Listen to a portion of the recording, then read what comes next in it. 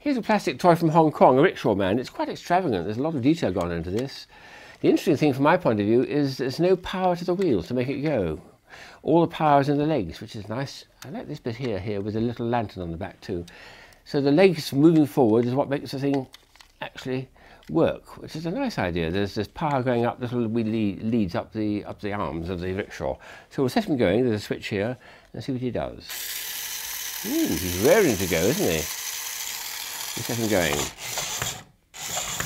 Oh dear. I think he's a bit lame or a bit past it or drunk or something. Is he going to make any progress? Yes. Oh yes, he's moving, but oh, very slowly.